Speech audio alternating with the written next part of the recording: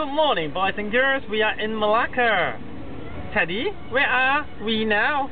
We are going back to campus. This is not Teddy, this is Cinnamon. Oh, cinnamon teddy bear, you are so cute. Yeah, where is the other bear bear? There's no other bear bear. Yes, there is. This ugly Mr. Bean bear.